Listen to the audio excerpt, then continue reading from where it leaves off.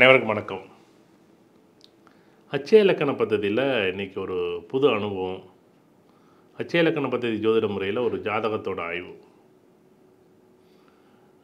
ஒரு வித்தியாசமான ஜாதகம். நிறைய பேர் கேட்டாங்க நண்பர்கள் கேட்டாங்க என்ன கேட்டாங்க அப்படின்னா ஷேர் மார்க்கெட்டில் மிகப்பெரிய தொகை இழந்த ஜாதகம் அல்லது இந்த பணம் ஏமாற்றிட்டு வெளில ஓடி போகிறாங்கல்ல தலைமறை தலைமறைவாகக்கூடிய ஜாதகங்கள். பெரிய தொழிலதிபர்களோட ஜாதகங்களை ஆய்வு செய்த விஷயங்கள் ஏதாச்சும் இருக்கா? அந்தமாரி அனுபவங்களை பற்றி பேசுங்க அப்படின்னு கேட்டிருந்தாங்க. நிறைய சீட் ஃபண்ட் வந்து இன்றைக்கி வந்து பார்த்திங்கன்னா பணத்தை ஏமாற்றிட்டு வெளியூர் ஓடி போகிறாங்க வெளிநாடு ஓடி போகிறாங்க அந்த ஜாதகம் வந்து ஆய்வு செய்யுங்க அப்படின்னு சொல்லி கேட்டிருந்தாங்க. அப்படி ஒரு ஜாதகத்தை தான் இன்றைக்கி ஆய்வு செய்ய போகிறோம் இந்தமாரி ஜாதகம் கிடைக்கிறது ரொம்ப ரேராக இருக்கும். ஏன்னா இந்த மாதிரி நிகழ்வு பார்த்திங்கன்னா கோடி கோடான கோடியில் ஒருத்தருக்கு தான் மாரி அமைப்பு வரும்.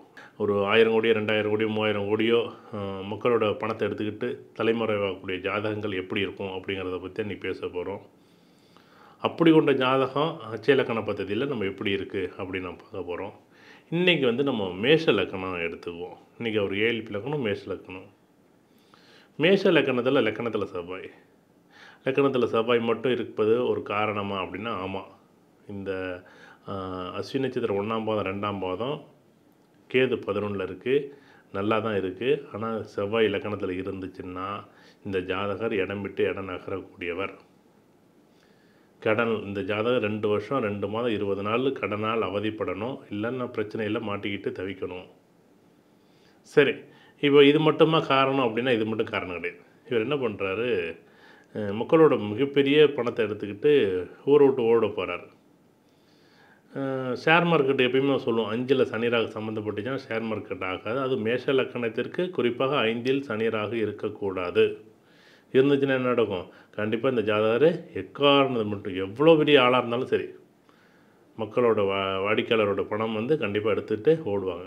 அஞ்சில் சனிராக இருந்துச்சுன்னா மக்கள் வந்து விரோதி. மக்களுக்கு எதிர்பார்த்த நிகழ்வுகளை சரியாக செய்ய மாட்டார். சரி அஞ்சில் சனிராகு மட்டும்தான் காரணமாக அப்படின்னா அது கிடையாது. நாளில் குரு. எப்பயுமே வந்து மே மேஷ லக்கணத்து நாளில் குரு உச்சம் பண்ணிச்சுன்னா இடம் விட்டு இடம் நகர்வோ. அப்படி இல்லைன்னா வெளியூர் சென்று பிழைத்தல் அல்லது தலைமறைவாக வாழுதல்.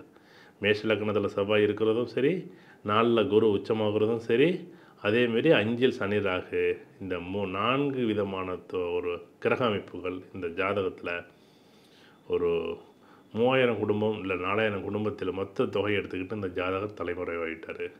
சரி இந்த ஜாதகம் எப்படியாச்சும் நம்ம வந்து வாங்கி ஆய்வு செய்யணும். ஏன்னா இந்தமாரி தலைமுறை தலைமுறைவாக இருக்கக்கூடிய ஜாதகங்கள் இதில் என்ன தான் இருக்குது அப்படின்னு ஆய்வு செய்ய வேண்டிய விஷயத்தில் நம்ம இருந்தோம். அதுக்காக நம்ம அச்சயலக்கண பദ്ധதி வந்து நம்ம என்ன பண்ணுறோம் ஒவ்வொரு ஜாதகத்தையும் ஆய்வு செய்யும்போது சில ஜாதகங்களுக்கு இந்த ஜாதகத்துக்கு அச்சயலக்கண பദ്ധதி வந்து எழுபத்தையாயிரம் ரூபா செலவு செய்து இந்த ஜாதகத்தை வந்து ஆய்வு செய்து விஷயத்தை வந்து நேரத்தில் சொல்ல முடியும்.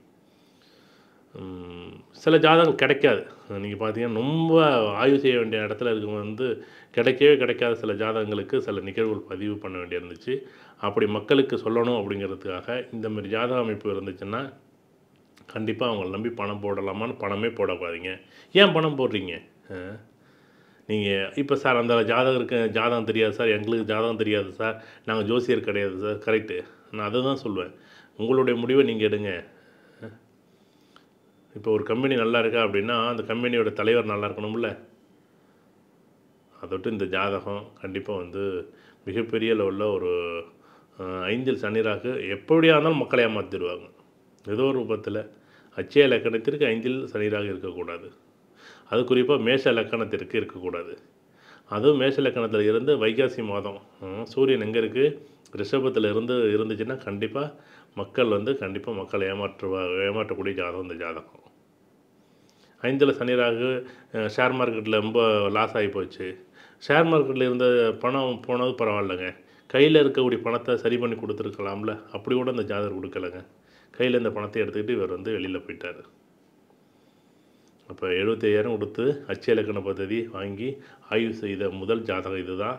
இது ஏன் மக்களுக்கு இதை சொல்லணும் அப்படின்னா ம நாளைக்கு இதே ஜோதிடர்கள் இதை பார்க்கும் போகும்போது கண்டிப்பாக அதில் ஏதோ ஒரு விஷயம் இருக்குது அப்படின்னு பார்ப்பாங்க. இந்த ஜாதகத்தை வந்து நான் அந்த ஃபோட்டோ வந்து பின்னாடி வந்து வீடியோவோட பின் பின்பக்கத்தில் வைக்கிறேன்.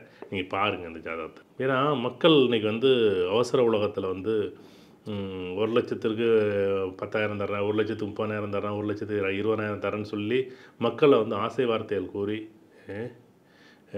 அதேமாரி ரெண்டில் சுக்கரன். எப்படி மேஷராக்கிற ரெண்டில் சுக்கரன் எப்படி பேசுகிறாரு பாருங்க. அவ்வளோ அழகாக பேசி பேசி பேசியே எல்லாத்தையும் மொத்தமும் ரெண்டு வருஷத்துக்குள்ள மொத்தத்தையும் சுருட்டிட்டார். தமிழ் பிரபலமான ஒருவருடைய ஜாதகம் தான் இந்த ஜாதகம் கண்டிப்பாக வந்து இந்த ஜாதகத்தை பற்றி நிறைய ஆய்வுகள் பின்னாடி வரும் இந்த ஜாதகத்தை பற்றிய நிறைய விஷயங்கள் நம்ம பேசுவோம். நன்றி வணக்கம்.